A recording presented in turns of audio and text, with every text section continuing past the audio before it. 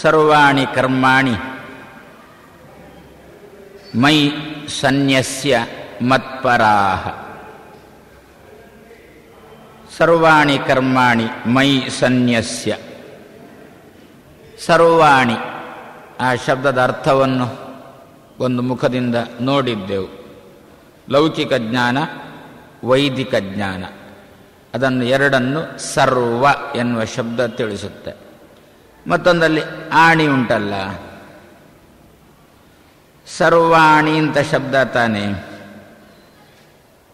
ಆಣಿ ಶಬ್ದಕ್ಕೆ ಏನರ್ಥ? ನಮ್ಮಲ್ಲಿ ಯಾವುದೋ ಒಬ್ಬ ಋಷಿಯನ್ನು ಹೇಳಬೇಕಾದ್ರೆ ಮೊದಲು ಆಣಿ ಬಡೀತೇವೆ ಒಂದು. ಯಾರದು? ಆಣಿ ಮಾಂಡವ್ಯರು ಅಂತ.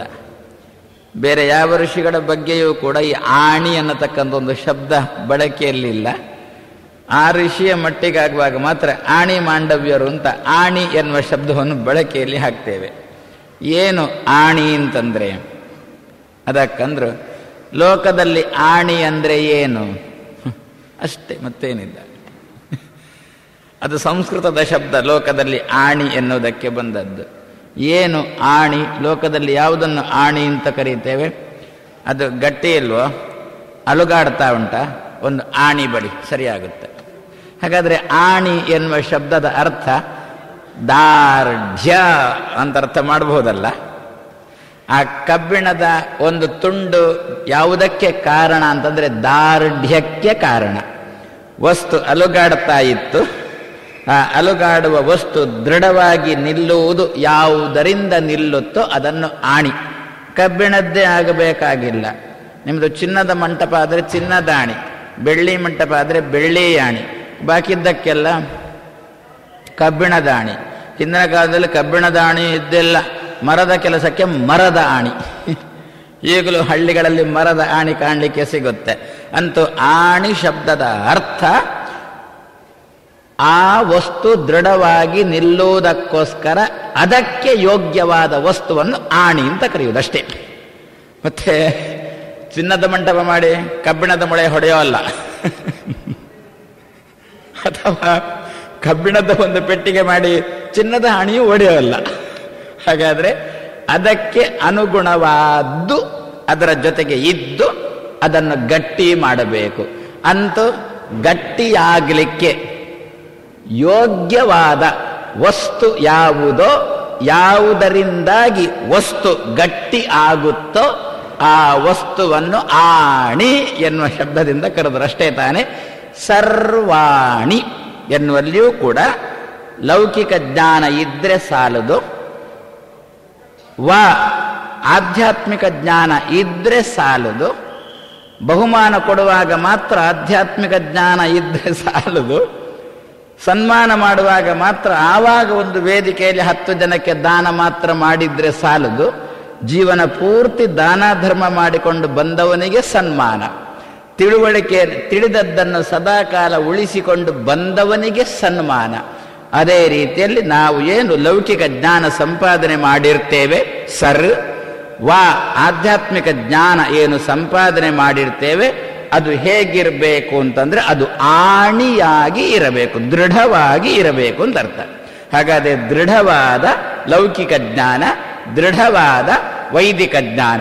ಯಾರು ಬಂದು ಅಲುಗಾಡಿಸಿದರೂ ಕೂಡ ನಮ್ಮಲ್ಲಿ ಆ ಜ್ಞಾನ ಚಂಚಲ ಆಗಬಾರದು. ಜಗತ್ತು ಸತ್ಯವೋ? ಜಗತ್ತು ಸುಳ್ಳಲ್ವಾ?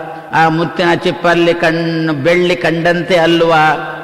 ಕತ್ತಲಲ್ಲಿ ಹಗ್ಗದಲ್ಲಿ ಕಂಡ ಹಾವಿನಂತೆ ಅಲ್ವಾ ಈ ಜಗತ್ತು. ಅಂತ ಯಾರಾದರೂ ಕೇಳಿದರೆ, ಹೌದೋ ಏನೋ ಅಂತ ಹೇಳುವ ಪ್ರಸಂಗ ಬಾರದೆ ಅಲ್ಲ ಅಂತ ಹೇಳುವ ಪ್ರಸಂಗ ಬರಬೇಕಷ್ಟೇ. ಇದು ಆಣಿ. ಅದೇ ರೀತಿಯಲ್ಲಿ ಭಗವಂತನ ಬಗ್ಗೆಯೂ ಕೂಡ, ಅಲ್ಲ ನಾನೇ ದೇವರಲ್ವೋ ಅಂತಂದರೆ ಅಲ್ಲ ಅಂತ ಹೇಳತಕ್ಕಂತಹ ತಾಕತ್ತು ನಮ್ಮಲ್ಲಿರಬೇಕು. ಆವಾಗ ಮಾತ್ರ ಅಂಥವರು ದೃಢವಾದ ವೈದಿಕ ಜ್ಞಾನ, ಲೌಕಿಕ ಜ್ಞಾನ ಉಳ್ಳತಕ್ಕಂಥ ವ್ಯಕ್ತಿಗಳು ಮಾಡಿರತಕ್ಕಂಥ ಕರ್ಮಗಳನ್ನು ನನ್ನಲ್ಲಿ ಅರ್ಪಣೆ ಮಾಡಿದರೆ ತೇಷಾಂ ಅಹಂ ಸಮುದ್ಧರ್ತ ಮತ್ತೆ ಸುಮ್ಮನೆ ಏನೋ ಪುಕ್ಕಟೆ ಕರ್ಮ ಮಾಡೋದು, ಕೃಷ್ಣಾರ್ಪಣಂ ತನ್ನೋದು ಅಲ್ಲ. ಅದು ಏನು ಗೊತ್ತಾ? ಅದು ಲೌಕಿಕ ಅರ್ಥದ ಕೃಷ್ಣಾರ್ಪಣ. ಹಾಳಾಯಿತು ಅಂತ ಅರ್ಥ, ಮತ್ತೇನಿಲ್ಲ. ಲೋಕದಲ್ಲಿ ಒಂದು ಕೃಷ್ಣಾರ್ಪಣ ಅಂತ ಶಬ್ದ ಉಂಟಲ್ಲ. ಕೆಲಸ ಅವರ ಕೈಯಲ್ಲಿ ಕೊಟ್ರ, ಅಬ್ಬಾ, ಕೃಷ್ಣಾರ್ಪಣ ಕೆಲಸ. ಅಂದ್ರೆ ಹಾಡಾಯಿತು ಅಂತ ನಮ್ಮ ಲೋಕದಲ್ಲಿ ಅದು ಯಾವಾಗ ಆಗುತ್ತೆ ಮಾಡತಕ್ಕಂತಹ ಕರ್, ಕರ್ಮದ ಹಿಂದೆ ತಿಳುವಳಿಕೆ ದೃಢವಾಗಿ ಇಲ್ಲದಿದ್ದರೆ ಮಾಡತಕ್ಕಂತಹ ಕರ್ಮ ಆ ರೀತಿಯಲ್ಲಿ. ಆದ್ದರಿಂದ ಕೃಷ್ಣ ಅಂದ, ಸರ್ವಾಣಿ ಕರ್ಮಾಣಿ ಮೈ ಸನ್ಯಸ್ಯ. ಎಲ್ಲ ಅಂತಹ ಕರ್ಮಗಳನ್ನು ನನ್ನಲ್ಲಿ ಅರ್ಪಣೆ ಮಾಡು. ನಮ್ಮಲ್ಲಿ ಕರ್ಮಗಳನ್ನು ಎರಡು ರೀತಿ ವಿಭಾಗ ಮಾಡಿದ್ರು ಅಂತ ಗೊತ್ತು ತಾನೆ? ನಮಗೆ ಭಗವಂತನ ಪ್ರಾಪ್ತಿಗೆ ನಿಷ್ಕಾಮಂ ಸೇವಮಾನಸ್ತು ಬ್ರಹ್ಮ ಅಭ್ಯೇತಿ. ನಿಷ್ಕಾಮಂ ಸೇವಮಾನ, ನಿಷ್ಕಾಮ ಕರ್ಮವನ್ನು ಮಾಡುವವನು ಬ್ರಹ್ಮ ಅಭ್ಯೇತಿ. ಭಗವಂತನನ್ನು ಹೊಂತಾನೆ ಹಾಗಾದ್ರೆ ನಿಷ್ಕಾಮ ಕರ್ಮವನ್ನು ಮಾಡಿದವನು ಭಗವಂತನು ಹೊಂತಾನೆ ತಂದಾಗ ಇನ್ನೊಂದು ಸಕಾಮ ಕರ್ಮ ಉಂಟು ಅಂತ ಅರ್ಥ ಬಂತು. ಆ ದೃಷ್ಟಿಯಲ್ಲಿ ಆ ಕೃಷ್ಣ ಈ ದಿವಸ ಹೇಳುವಾಗ ಸರ್ವಾಣಿ ಕರ್ಮಾಣಿ. ನಾವು ಈ ಶ್ಲೋಕವನ್ನೇ ಕಂಠಪಾಠ ಮಾಡಿದ್ರೂ ಸಾಕಂತೆ. ಕರ್ಮ ಮಾಡುವಾಗ ನಮಗೆ ಬರತಕ್ಕಂತಹ ತಿಳುವಳಿಕೆ, ಭಗವಂತನ ತಿಳುವಳಿಕೆ, ಲೋಕದ ತಿಳುವಳಿಕೆ ದೃಢವಾಗಿ ಬರುತ್ತೆ, ಗಟ್ಟಿಯಾಗಿ ಬರುತ್ತೆ. ಆಮೇಲೆ ಕರ್ಮಗಳನ್ನು ಭಗವಂತನಲ್ಲಿ ಸನ್ಯಸ್ಯ, ಭಗವಂತನಲ್ಲಿ ಸಮರ್ಪಣೆ ಮಾಡು. ಹೇಗೆ ಮಾಡಬೇಕು ಅಂತ ಕೃಷ್ಣ ಅರ್ಜುನ ಕೃಷ್ಣನಲ್ಲಿ ಕೇಳಿದ್ದಕ್ಕೆ ಏನು ಉತ್ತರ ಕೊಟ್ಟ? ಅನನ್ಯೇನೈವ ಯೋಗೇನ ಅಂತ ಒಂದು ಉತ್ತರ ಕೊಟ್ಟ. ಏನರ್ಥ? ಅನ್ಯರಲ್ಲಿ ಯೋಗ ಕೂಡದು. ನನ್ನಲ್ಲಿ ಏನು ಯೋಗ ಇರುತ್ತೋ, ನನ್ನಲ್ಲಿ ಏನು ಮನಸ್ಸಿನ ಸಂಬಂಧ ಇರುತ್ತೋ, ನಿನ್ನ ಮನಸ್ಸಿನ ಸಂಬಂಧ ನನ್ನಲ್ಲಿ ಏನು ಇರುತ್ತೋ, ಅದೇ ರೀತಿಯಾದ ಸಂಬಂಧ ಇನ್ನೊಬ್ಬರಲ್ಲಿ ಇರತಕ್ಕದ್ದಲ್ಲ. ಇನ್ನೊಬ್ಬರಲ್ಲಿ ಮನಸ್ಸಿನ ಸಂಬಂಧ ಬೇಡ ಅಂತ ನಾನು ಹೇಳುವವ ಅಲ್ಲ. ನನ್ನಲ್ಲಿ ಇರತಕ್ಕಂತಹ ಕ್ರಮದಲ್ಲಿ ಇನ್ನೊಬ್ಬರಲ್ಲಿ ಇರತಕ್ಕದ್ದಲ್ಲ. ಮನೆಯಲ್ಲಿ ಮಕ್ಕಳನ್ನು, ಕೆಲಸದವನನ್ನು, ತಾಯಿಯನ್ನು, ತಂದೆಯನ್ನು, ಅತಿಥಿಯನ್ನು, ಅಜ್ಜನನ್ನು, ಇಷ್ಟೂ ಜನರನ್ನು ನಾವು ಮನೆಯಲ್ಲಿ ಪ್ರೀತಿಸ್ತೇವೆ. ಎಲ್ಲರ ಪತ್ನಿಯನ್ನು, ಎಲ್ಲರನ್ನು ಒಂದೇ ರೀತಿಯಲ್ಲಿ ಪ್ರೀತಿಸುವುದಲ್ಲ. ಅವರ ಪ್ರೀತಿಯಲ್ಲಿ ಹೇಗೆ ವ್ಯತ್ಯಾಸ ಉಂಟೋ ಅದೇ ರೀತಿಯಲ್ಲಿ ಭಗವಂತ ಲಕ್ಷ್ಮಿ ಅಂತ ಹೀಗೆ ತಾರತಮ್ಯ ಕ್ರಮದಲ್ಲಿ ಅವರನ್ನು ಪ್ರೀತಿಸಬೇಕು. ಇದನ್ನೇ ಏನಂದ ಕೃಷ್ಣ? ಅನ್ಯರಲ್ಲಿ ಯೋಗಕ್ಕೂ, ನನ್ನಲ್ಲಿ ಯೋಗಕ್ಕೂ ವ್ಯತ್ಯಾಸ ಉಂಟು ನನ್ನಲ್ಲಿ ಏನು ಯೋಗ? ಮನಸ್ಸಿನ ಯೋಗ. ಯಾವ ರೀತಿಯಲ್ಲಿ ಮನಸ್ಸಿನ ಯೋಗ? ಸ್ವಾತಂತ್ರ್ಯ ಪೂರ್ಣತ್ವದಿಂದ ಕೂಡಿದ ಮನಸ್ಸಿನ ಯೋಗ ನನ್ನಲ್ಲಿ. ಈ ರೀತಿಯಾದ ಮನಸ್ಸಿನ ಯೋಗ ಅನ್ಯರಲ್ಲಿ ಕೂಡುದು. ಇದನ್ನೇ ಏನು ಅಂತ ಕರೆದ ಕೃಷ್ಣ? ಅನನ್ಯ ಯೋಗ ಅಂತ ಕರೆದ. ಅನ್ಯರಲ್ಲಿ ಇಲ್ಲದೆ ಇರತಕ್ಕಂಥ ಯೋಗದಿಂದ ಅಂತ ಕೃಷ್ಣ ಅಂದ. ಅನನ್ಯೇನೈವ ಯೋಗೇನ? ಇನ್ನೊಂದಂದ್ರು, ಅನನ್ಯೇ ನೈವ ಯೋಗೇನ ಅಂತಂದ್ರು. ಅಲ್ಲಿ ಅನನ್ಯೇ ನೈವ ಯೋಗೇನ ಅಂತ ಉಂಟಲ್ಲ. ಹೇಗೋ ಕೈಯಲ್ಲಿ ಭಗವದ್ಗೀತೆ ಪುಸ್ತಕ ಉಂಟು ತಾನೆ. ಆದ್ದರಿಂದ ಏನು ಮಾಡೋದು? ಅನನ್ಯೇನ ಅಂತ ಅನನ್ಯೇ, ನೈ ಅನನ್ಯೇ ಅಂತ ಆದ್ಮೇಲೆ ಒಂದು ಪುಟ್ಟ ಗೆರೆ ಹಾಕಿ, ನೈವ ಯೋಗೇನ. ಅನನ್ಯೇ, ಏನ ಅನನ್ಯ ಅಂದ್ರೆ ಏನರ್ಥ? ಅನಕ್ಕಿಂತ ಅನ್ಯರಲ್ಲಿ ನೈವ ಯೋಗೇನ. ಅನ ಮುಖ್ಯ ಪ್ರಾಣನಿಕ್ಕಿಂತ ಅನ್ಯರಲ್ಲಿ ನೈವ ಯೋಗೇನ. ಲಕ್ಷ್ಮೀನಾರಾಯಣರ ಚಿಂತನೆ ಮಾಡುವಾಗ, ನನ್ನ ಮತ್ತೆ ನನ್ನ ಪತ್ನಿಯ ಚಿಂತನೆ ಮಾಡುವಾಗ ಅನಕ್ಕಿಂತ ಅನ್ಯರಲ್ಲಿ ನಿನ್ನ ಮನಸ್ಸಿನ ಯೋಗ ಬರತಕ್ಕದ್ದಲ್ಲ. ಅಂದ್ರೆ ಮುಖ್ಯ ಪ್ರಾಣನನ್ನು ಸೇರಿಸಿಕೊಂಡು ಲಕ್ಷ್ಮೀನಾರಾಯಣರ ಚಿಂತನೆ ಮಾಡಬೇಕು ಅಂತ ಕೃಷ್ಣ ಹೇಳಿದಂತೆ ಇದು. ಅನನ್ಯೇ ನೈವ ಯೋಗ, ಅನಕ್ಕಿಂತ ಅನ್ಯ, ಅನ ಅಂದ್ರೆ ಮುಖ್ಯ ಪ್ರಾಣ. ಅವನ ಅನಕ್ಕಿಂತ ಅನ್ಯ, ಅನನ್ಯ. ಅನನ್ಯನಲ್ಲಿ, ಅನನ್ಯರಲ್ಲಿ ಮುಖ್ಯ ಪ್ರಾಣನಿಕ್ಕಿಂತ ಅತಿರಿಕ್ತವಾಗಿರತಕ್ಕಂತಹ ದೇವತೆಗಳು ಅಂತ ಯಾರಿದ್ದಾರೋ ಅವರನ್ನು ಇಲ್ಲಿ ಸೇರಿಸಿಕೊಂಡು ಮಾಡಬೇಡ. ಅವರಲ್ಲಿ ಈ ಯೋಗವನ್ನು ಇಟ್ಟುಕೊಳ್ಳಬೇಡ. ಅಲ್ಲ, ಮತ್ತೆ ಮುಖ್ಯ ಪ್ರಾಣನನ್ನು ಲಕ್ಷ್ಮೀನಾರಾಯಣರ ಜೊತೆಗೆ ಸೇರಿಸಿಕೊಳ್ಳಬಹುದು ಕೊಳ್ಳಬಹುದು ಯಾಕೆ? ಮೂವರು ಕೂಡ ಒಟ್ಟು ಸೇರಿದರೆ ಮೋಕ್ಷ ಕೊಡ್ತಾರೆ. ಭಗವಂತನೂ ಮೋಕ್ಷ ಕೊಡ್ತಾನೆ. ಲಕ್ಷ್ಮಿ ಅಂತೂ ಅವನೊಟ್ಟಿಗೆ ಇದ್ದವಳೇ ಮೋಕ್ಷ ಕೊಡ್ತಾಳೆ. ದೇವರು ಹೇಳಿದ್ರೆ ಇವನು ಮೋಕ್ಷ ಕೊಡ್ತಾನೆ ಅಂತೆ ಮುಖ್ಯ ಪ್ರಾಣನು ಮೋಕ್ಷ ಕೊಡ್ತಾನೆ ಅಂತೆ ಬೇರೆ ದೇವತೆಗಳು ಮೋಕ್ಷ ಕೊಡೋ ಅಲ್ವೋ? ದೇವರು ಹೇಳೋ ಅಲ್ಲ, ಇವರು ಕೊಡೋಲ್ಲ ಇವ ಕೇಳಿದ ಅಲ್ವೋ? ಬಾರಿ ಮಲಗಿದ್ದ. ತುಂಬ ಸುಸ್ತಾಗಿತ್ತು, ಹೋರಾಡಿ, ಮುಚುಕುಂದ. ಬಹಳ ಯುದ್ಧ ಮಾಡಿದ್ದ. ದೇವತೆಗಳು ಕೇಳಿದ್ರು, ಏನು ಬೇಕು ನಿನಗೆ ಅಂತ ಕೇಳಿದ್ರು. ದೇವತೆಗಳು ದಶರಥನಂತೆ ಅಲ್ಲ, ದೇವತೆಗಳಿಗೆ ಸ್ವಲ್ಪ ಬುದ್ಧಿ ಉಂಟು. ಅದರಿಂದ ಏನು ಬೇಕು ಅಂತ ಕೇಳುವ ಮೊದಲೇ ಒಂದು ಮಾತಂದಿದ್ರು ನೀನು ಕೇಳುವುದನ್ನು ಬಿಟ್ಟು ಮತ್ತೆ ಏನು ಬೇಕು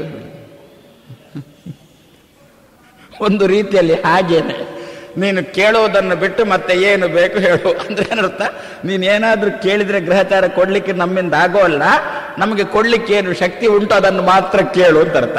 ಇದು ಒಂದು ಕೇಳುವುದಾ ಇದು ವರ ಕೊಡುವುದು ಅಂತ ಅರ್ಥನಾ? ಭಕ್ತ ತಪಸ್ಸು ಮಾಡಿದ. ದೇವರು ಎದುರಿಗೆ ನಿಂತ. ಆವಾಗ ದೇವರು ಕೇಳುವುದು ಭಕ್ತನಲ್ಲಿ, ಏನು ಬೇಕು ನಿನಗೆ? ಅಂತ. ಮತ್ತೆ ದೇವರು ಒಂದೊಂದೇ ಹೇಳುವುದು, ಅದು ಕೊಡಲಿಕ್ಕೆ ಶಕ್ತಿ ಇಲ್ಲ, ಇದು ಕೊಡಲಿಕ್ಕೆ ಶಕ್ತಿ ಇಲ್ಲ, ಇನ್ನೊಂದು ಕೊಡಲಿಕ್ಕೆ ಶಕ್ತಿ ಇಲ್ಲ, ಮತ್ತೆ ಏನು ಬೇಕು? ಅಂತ.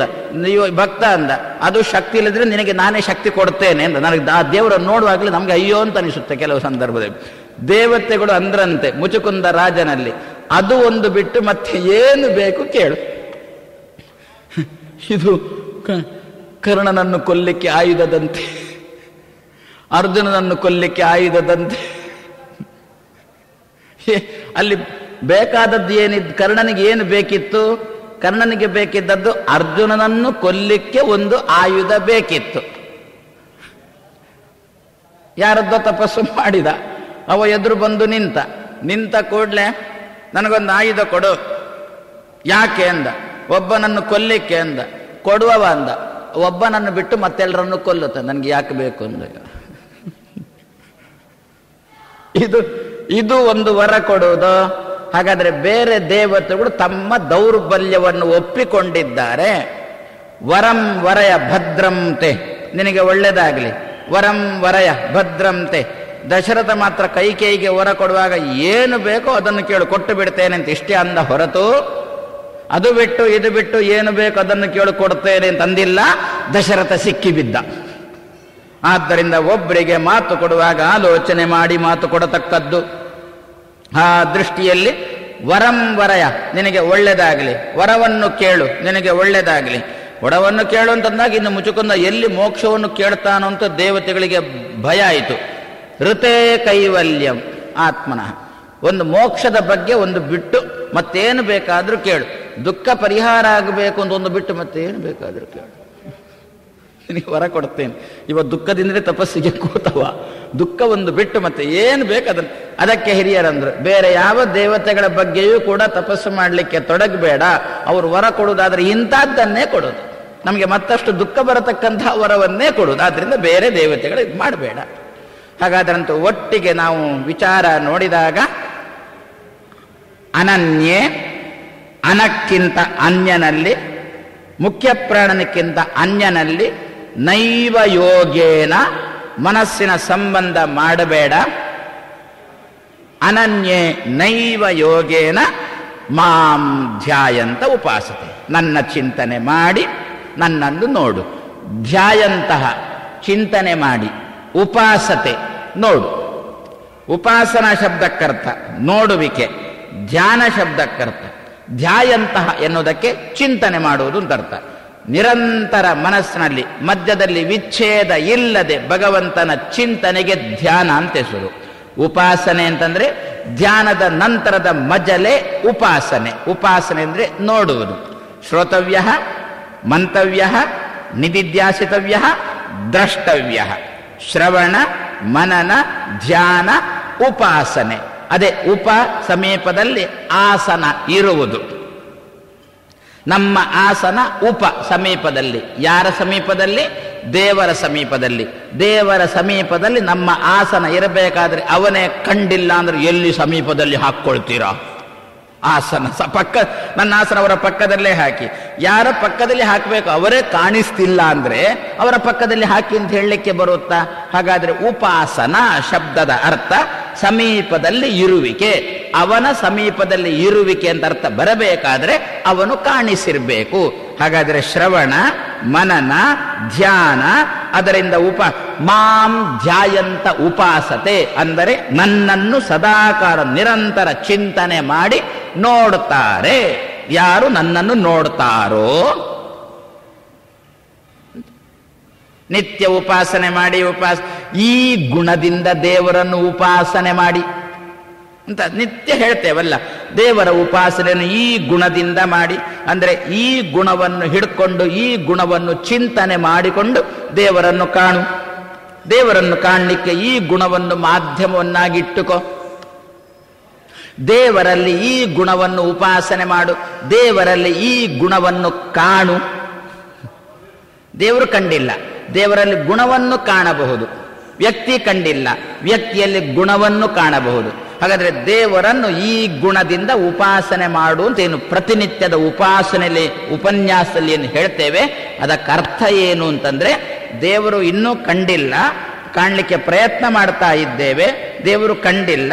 ದೇವರಲ್ಲಿ ಈ ಗುಣವನ್ನು ಕಾಣು. ದೇವರು ಕಂಡಿಲ್ಲ. ಅವನಲ್ಲಿ ಈ ಗುಣವನ್ನು ಕಾಣು. ಈ ಗುಣವನ್ನು ನಿರಂತರವಾಗಿ ನೀನು ಮನಸ್ಸಿನಲ್ಲಿ ಚಿಂತನೆ ಮಾಡಲಿಕ್ಕೆ ತೊಡಗಿದರೆ ಆವಾಗ ದೇವರು ಕಾಣಿಸ್ತಾನೆ. ಮತ್ತೆ ಅಲ್ಲಿಂದಲ್ಲಿಗೆ ಸಂಬಂಧ ಹಚ್ಚಲಿಕ್ಕೆ ಬರುತ್ತೆ.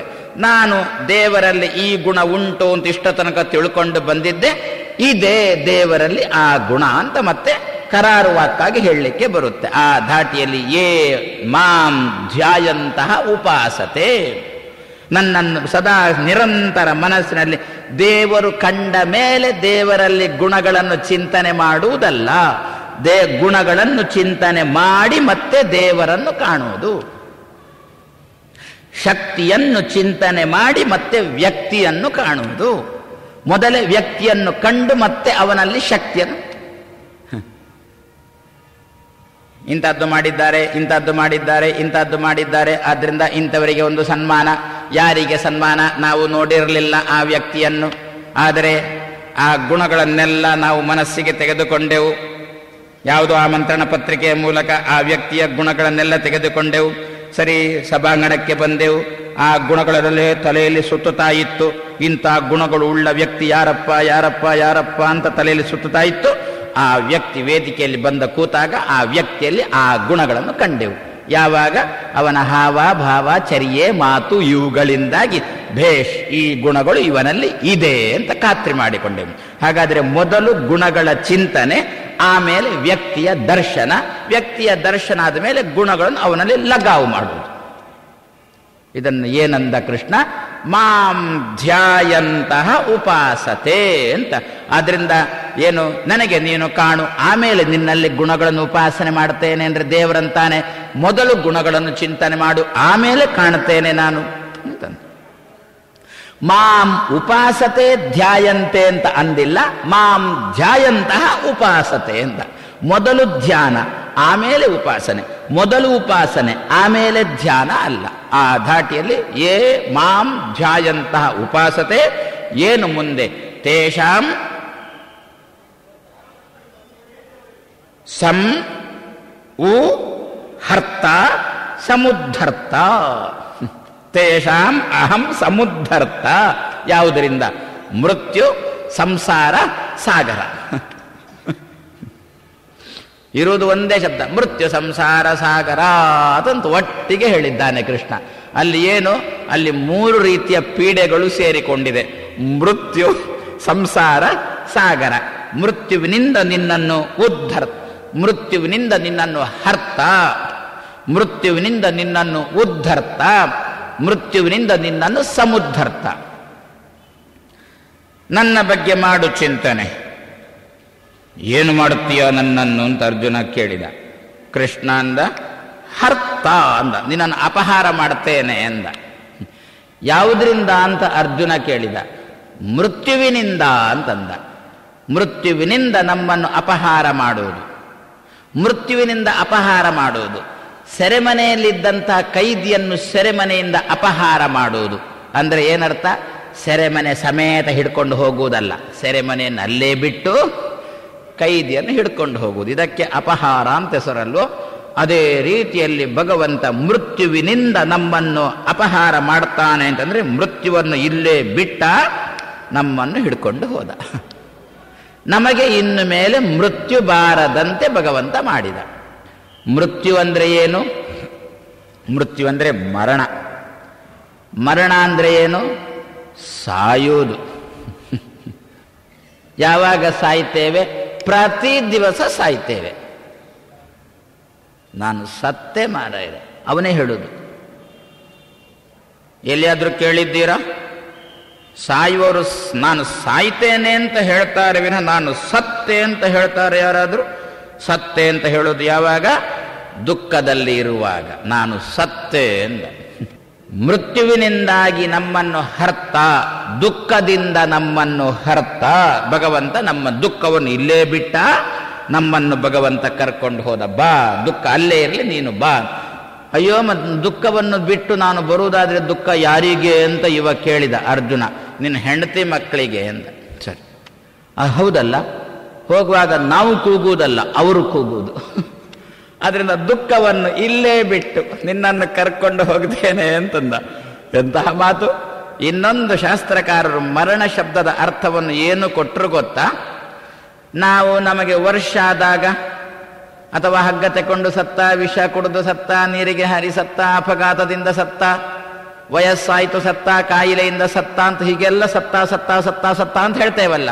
ಇದು ಯಾವುದೂ ಸತ್ತದ್ದಲ್ಲ. ಯಾಕೆ? ಮತ್ತೆ ಪುನಃ ಹುಟ್ಟಲಿಕ್ಕೆ ಇರೋಣದರಿಂದ. ಹಾಗಾದರೆ ಸಾಯುವುದಂದ್ರೇನು? ತಿರುಗಿ ಹುಟ್ಟದೇ ಇರುವ ಅವಸ್ಥೆಗೇನೆ ಸಾವು ಅಂತ ಹೆಸರು. ಕೃಷ್ಣ ಅಂದ, ಅಂತಹ ಸಾವಿನಿಂದ ನಿನ್ನನ್ನು ನಾನು ಹಿಡ್ಕೊಂಡು ಹೋಗ್ತೇನೆ. ನಿನಗೆ ಪುನಃ ಮೃತ್ಯು, ಮರಣ ತಿರುಗಿ ಹುಟ್ಟುವ ಪ್ರಸಂಗ ಬಾರದಂತೆ ನಿನ್ನನ್ನು ಕರ್ಕೊಂಡು ಹೋಗ್ತೇನೆ ಅಂತ ಇದಕ್ಕೆ ಉದಾಹರಣೆ ಬೇಕಾ? ತಿರುಗಿ ಹುಟ್ಟದ ರೀತಿಯಲ್ಲಿ ಸಾಯುವುದಕ್ಕೇನೆ ಸಾಯುವುದು ಅಂತ ಹೆಸರು. ಬರೇ ದೇಹದಿಂದ ಜೀವ ಹೋದ ಕ್ಷಣಕ್ಕೆ ಅವರು ಸತ್ರು ಅಂತ ಹೇಳಬೇಡಿ. ಯಾಕೆ? ಪುನಃ ಸ್ವಲ್ಪ ಸಮಯ ಆದಮೇಲೆ ಹುಟ್ಲಿಕ್ಕಿದ್ದಾರೆ ಅವರೇ. ಯಾಕೆ? ಹೋದ ಜನ್ಮದಲ್ಲಿ ಉಳಿದ ಪೀಡೆಯನ್ನು ಮುಂದುವರಿಸಲಿಕ್ಕೆ. ಅರ್ಧ ಪೀಡೆ ಕೊಟ್ಟು ಸತ್ತಿದ್ದಾರೆ, ಅದನ್ನು ಮುಂದುವರಿಸಬೇಕಲ್ಲ, ಅದಕ್ಕೋಸ್ಕರ ಪುನಃ ಹುಟ್ಟಿದ್ದ. ಎಲ್ಲಿ? ಅಕ್ಕಪಕ್ಕದ ಮನೆಯಲ್ಲಿ. ಇದಕ್ಕೊಂದು ಒಳ್ಳೆ ಉದಾಹರಣೆ ಕೊಡುವುದು ಅಂತಾದರೆ ಮಗ ಮನೆಯಲ್ಲಿ ಊಟ ಮಾಡಿ ಮಲಗಿದ್ದಾನೆ. ಮಲಗೋದು ಅಂತಂದರೆ ಕಣ್ಣು ಬಿಟ್ಟುಕೊಂಡು ನಿದ್ದೆ ಮಾಡುವ ಪ್ರಸಂಗ ಇನ್ನೂ ನಮಗೆ ಬಂದಿಲ್ಲಲ್ಲ. ಮಲಗು ಅಂತಂದರೆ ಕಣ್ಣು ಮುಚ್ಚಿಕೊಂಡೇ ಮಲಗುವುದು ತಾನೆ. ಕಣ್ಣು ಮುಚ್ಚಿಕೊಂಡೇ ಮಲಗುವುದಕ್ಕೆ ನಿದ್ರೆ ಮಾಡುವುದು ಅಂತ ಹೆಸರಲ್ವ. ಮಲಗಿದ್ದಾನೆ, ಕಣ್ಣು ಮುಚ್ಚಿಕೊಂಡು ನಿದ್ದೆ ಮಾಡ್ತಾ ಇದ್ದಾನೆ. ಇಷ್ಟ ಆಗುವಾಗ ಅವನ ಗೆಳೆಯನ ದೂರವಾಣಿ ಕರೆ ಬಂತು. ಅವ ಮಲಗಿದ್ದಾನೆ. ಅಮ್ಮ ತೆಗೆದುಕೊಂಡ್ಲು. ನಾನು ಒಂಚೂರು ನಿಮ್ಮ ಮಗ ಬೇಕಿತ್ತು ಅಂತಂದ ಅವ, ಆಚೆ ಬದಿಯವ. ಅಮ್ಮ ಏನನ್ಬಹುದು? ಏನಂತಾಳೆ ಗೊತ್ತಾ? ನನ್ನ ಮಗ ಈಗ ಕಣ್ಣು ಮುಚ್ಚಿ ಐದು ನಿಮಿಷ ಆಯಿತು. ಆದ್ರಿಂದ ಈಗ ಕರೀಲಿಕ್ಕೆ ಆಗೋಲ್ಲ ಅಂತ ಅಮ್ಮ ಹೇಳ್ತಾಳ. ಮತ್ತೇನಂತಾಳೆ? ನನ್ನ ಮಗ ಮಲಗಿದ್ದಾನೆ, ಆದ್ರಿಂದ ಈಗ ಕರೀಲಿಕ್ಕೆ ಆಗೋಲ್ಲ ಅಂತಾಳೆ. ಯದ್ಯಪಿ ನನ್ನ ಮಗ ಕಣ್ಣು ಮುಚ್ಚಿ ಐದು ನಿಮಿಷ ಆಯಿತು, ಆದ್ರಿಂದ ಕರೀಲಿಕ್ಕೆ ಆಗೋಲ್ಲ ಅಂತ ಹೇಳಿದ್ರೆ ತಪ್ಪಾಗುತ್ತಾ? ಯದ್ಯಪಿ ಕಣ್ಣು ಮುಚ್ಚಿಯೇ ಮಲಗಿದ್ದಲ್ವೋ? ಕಣ್ಣು ತೆರೆದು ಮಲಗಿದ್ದಲ್ಲಲ್ಲ, ಆದರೂ ಅಮ್ಮ ಹೇಳೋ ಅಲ್ಲ ಅವ ಕಣ್ಣು ಮುಚ್ಚಿದ್ದಾನೆ ಅಂತ ಹೇಳೋ ಅಲ್ಲ ಯಾಕೆ? ಬೆಳಿಗ್ಗೆ ಕಣ್ಣು ತೆರೀಲಿಕ್ಕೆ ಇದೆ, ಆದ್ದರಿಂದ. ಹಾಗಾದರೆ ಕಣ್ಣು ಮುಚ್ಚಿದ್ರು ಅವರು ಅಂತ ಯಾರಿಗೆ ಹೇಳೋದು? ಯಾರು ಪುನಃ ಮರು ದಿವಸ ಕಣ್ಣು ತೆರೀಲಿಕ್ಕೆ ಇಲ್ಲವೋ ಅಂಥವರಿಗೆ ಮಾತ್ರ. ಅವರು ಕಣ್ಣು ಮುಚ್ಚಿದ್ರಲ್ವೋ ಅಂತ ಹೇಳೋದು. ಅದೇ ರೀತಿಯಲ್ಲಿ ಹಾಗಾದರೆ ನಾವು ಎಲ್ಲ ವಯಸ್ಸಾಯಿತೋ ಕಾಯಿಲೆಯೋ ಇಂಥ ನಾನಾ ಪ್ರಸಂಗಗಳಲ್ಲಿ ಯದ್ಯಪಿ ನಮ್ಮ ದೇಹದಿಂದ ಪ್ರಾಣ ಹೋಗಿದ್ದರೂ, ನಾವು ಸತ್ತಿದ್ದರೂ ಏನು ಹೇಳಬಾರದು? ಅವರು ಸತ್ರು ಅಂತ ಹೇಳಬಾರದು. ಯಾಕೆ? ಸ್ವಲ್ಪ ಸಮಯ ಆದಮೇಲೆ ಪುನಃ ಹುಟ್ಟಲಿಕ್ಕೆ ಇರೋಣದರಿಂದ. ಹಾಗಾದರೆ ಆ ಮೃತ್ಯು ನಮ್ಮ ಜೊತೆಗೇನೆ ಉಂಟು. ಹಾಗಾದರೆ ಆ ಮೃತ್ಯು ನಮ್ಮ ಜೊತೆಗೇನೆ ಉಂಟು. ಈ ಜನ್ಮದಲ್ಲಿ ನಾವು ಅರವತ್ತು ವರ್ಷವೋ, ಎಪ್ಪತ್ತು ವರ್ಷವೋ ಆದ ಕೂಡಲೇ ದೇಹದಿಂದ ಪ್ರಾಣ ಹೋಯಿತು. ಆದರೆ ಇನ್ನೊಂದು ಜನ್ಮದಲ್ಲಿ ಪುನಃ ಅದೇ ಪ್ರಾಣ ಮತ್ತೊಂದು ದೇಹದೊಳಗೆ ಸೇರಿಕೊಳ್ಳುತ್ತೆ. ಆದ್ದರಿಂದ ಮೃತ್ಯು ನಮ್ಮನ್ನು ಬಿಟ್ಟಿಲ್ಲ. ಕೃಷ್ಣ ಅಂದ ಏ ಧ್ಯಾಯಂತಹ ಮಾಂ ಉಪಾಸತೆ ಯಾರು ನನ್ನನ್ನು ಕಾಣ್ತಾರೋ ತೇಷಾಂ ಅಹಂ ಮೃತ್ಯೋ ಉದ್ಧರ್ತ. ಅವರನ್ನು ನಾನು ಏನು ಮಾಡ್ತೇನೆ, ಅವರ ಬೆನ್ನ ಹಿಂದೆ ಪ್ರತಿಯೊಂದು ಜನ್ಮದಲ್ಲಿಯೂ ಕೂಡ ಅವರ ಬೆನ್ನ ಹಿಂದೆ ಬಂದಿರತಕ್ಕಂಥ ಮೃತ್ಯುವಿನಿಂದ ನಾನು ಅವರನ್ನು ಅಪಹಾರ ಮಾಡ್ತೇನೆ. ಮೃತ್ಯು, ಅವರ ಮೃತ್ಯುವನ್ನು ಇಲ್ಲೇ ಬಿಟ್ಟು ಅವರನ್ನು ಮಾತ್ರ ನಾನು ಹಿಡ್ಕೊಂಡು ಹೋಗ್ತೇನೆ. ಹರ್ತ ಹಿಡ್ಕೊಂಡು ಹೋಗ್ತೇನೆ. ಅರ್ಜುನ ಕೇಳಿದ ಹಿಡ್ಕೊಂಡು ಹೋಗ್ತಿ, ಎಲ್ಲಿಗೆ ಅಂತ ಕೇಳಿದ. ಉತ್ಹರ್ತ ಅಂತ ಎತ್ತರಕ್ಕೆ ಕರ್ಕೊಂಡು ಹೋಗ್ತೇನೆ ಅಂತಂದ. ಅದೇ ಉದ್ಧರ್ತ, ಉದ್ಧಾರ. ನೀವು ಅವರನ್ನು ಉದ್ಧಾರ ಮಾಡಬೇಕು. ಯದ್ಯಪಿ ಊತು ಬಿಟ್ಟು ಬಿಟ್ಟರೆ ನೀವು ಅವರನ್ನು ಅಪಹಾರ ಮಾಡಬೇಕು. ನೀವು ಅವರನ್ನು ಹಾರ ಮಾಡಬೇಕು. ನೀವು ಅವರನ್ನು ಕರ್ಕೊಂಡು ಹೋಗಬೇಕು. ಕರ್ಕೊಂಡು ಹೋಗಬೇಕು ಅಂತಂದ್ರೆ ಹೀಗೂ ಕರ್ಕೊಂಡು ಸೀದಾ ಹೋಗುವುದು ಆಗುತ್ತೆ. ಅಲ್ಲ. ಅವರು ಬಹಳ ಕೆಳಗಿದ್ದಾರೆ, ಬಹಳ ನಿಕೃಷ್ಟಾವಸ್ಥೆಯಲ್ಲಿದ್ದಾರೆ. ಅವರನ್ನು ನೀವು ಅಲ್ಲಿಂದ ಕರ್ಕೊಂಡು ಹೋಗಬೇಕು ಅಂದರೆ ಎಲ್ಲಿಗೆ? ಉತು, ಎತ್ತರಕ್ಕೆ. ಉಚ್ಚ.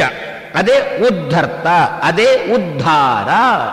ಹಾಗಾದರೆ ಮೃತ್ಯುವನ್ನು ಇಲ್ಲೇ ಬಿಟ್ಟ ನಮ್ಮ ಜೊತೆಗಿರತಕ್ಕಂಥ ಮೃತ್ಯುವನ್ನು ಕೃಷ್ಣ ಇಲ್ಲೇ ಬಿಟ್ಟ, ಇಲ್ಲೇ ಬಿಡುತ್ತೇನೆ ಮೃತ್ಯುವನ್ನಿಲ್ಲೇ ಬಿಟ್ಟು ನಿನ್ನನ್ನು ಕರ್ಕೊಂಡು ಹೋಗುತ್ತೇನೆ. ಹಾಗಾದರೆ ಮೃತ್ಯುವಿಗೆ ಯಾರಾದರೂ ಒಂದು ವ್ಯಕ್ತಿ ಬೇಕು? ನಮ್ಮಂದ ಮೃತ್ಯುವನ್ನು ಕೃಷ್ಣ ಬಿಡಿಸಿದ. ಆ ಮೃತ್ಯುವಿಗೊಂದು ವ್ಯಕ್ತಿ ಬೇಕು? ಸಂಸಾರದಲ್ಲಿದ್ದ ಬೇರೆಯವರಿಗೆ ಆ ಮೃತ್ಯುವನ್ನು ತಲೆಗಿಟ್ಟ. ಅಲ್ಲ, ಅವರಿಗೊಂದು ಮೊದಲೇ ಮೃತ್ಯು ಇತ್ತಲ್ಲ ಈ ಮೃತ್ಯುವನ್ನು ಕೃಷ್ಣ ಇಟ್ನೋ? ಹೌದು. ಯಾವ ಮೃತ್ಯುವನ್ನಿಟ್ಟ ಒಂದು ಅವರ ಬೆನ್ನ ಹಿಂದೆ ಪ್ರಾಣ ಹೋಗು ಎನ್ನತಕ್ಕಂಥ ಮೃತ್ಯು ಸದಾಕಾಲ ಉಂಟೇ ಉಂಟು. ಇನ್ನೊಂದು ಮೃತ್ಯು ಇವರ ಮೃತ್ಯುವನ್ನು ಅವರ ಮೇಲಿಟ್ಟ. ಏನು? ದುಃಖವೆಂಬ ಮೃತ್ಯುವನ್ನು ಅವರ ಮೇಲಿಟ್ಟ. ಇವರು ಎರಡು ಮೃತ್ಯುವಿನಿಂದ ಕೂಡಿದ್ರು. ಆದ್ರಿಂದ ಹಿರಿಯರಂದ್ರು, ನಮ್ಮ ಮನೆಯಲ್ಲಿ ಬಂಧುಗಳೋ, ಇವರೋ ಯಾರಾದರೂ ಸತ್ರೆ ಕೂಗುಬೇಡ ಯಾಕೆ? ನಿನಗೆ ಇನ್ನೊಂದು ಮೃತ್ಯು ಬಂತು ಅಂತ ಅರ್ಥ. ಅಳಬೇಡ. ಕೊಟ್ಟ ದೇವರು ಕೊಂಡು ಹೋದರೆ ಕುಟ್ಟಿಕೊಂಡು ಅಳಬೇಡ. ದೇವರು ಕರ್ಕೊಂಡು ಹೋದ ಅಂತ ತಿಳ್ಕೊ. ಹೀಗೆ ಒಂದು ಕಡೆಯಲ್ಲಿ ಆಯಿತು. ಅವರು ಅಳ್ಳಿಲ್ಲ. ಸುಮ್ಮನೆ ಕೂತಿದ್ರು. ಅಕ್ಕಪಕ್ಕದವ್ರು ಏನು ಮಾತಾಡಿದ್ರು ಗೊತ್ತಾ? ಇವನೇ ಕೊಂದದ್ದು ಕಾಣುತ್ತೆ ಅಂತ ಮಾತಾಡ್ತಾ ಇಲ್ಲ ನಾನು. ನನ್ನಲ್ಲಿ ಬಂದು ದೂರಿದ. ಸ್ವಾಮಿ, ನೀವು ಹೇಳಿದಿರಿ. ಕೂಗಬಾರ್ದು ಅಂತ.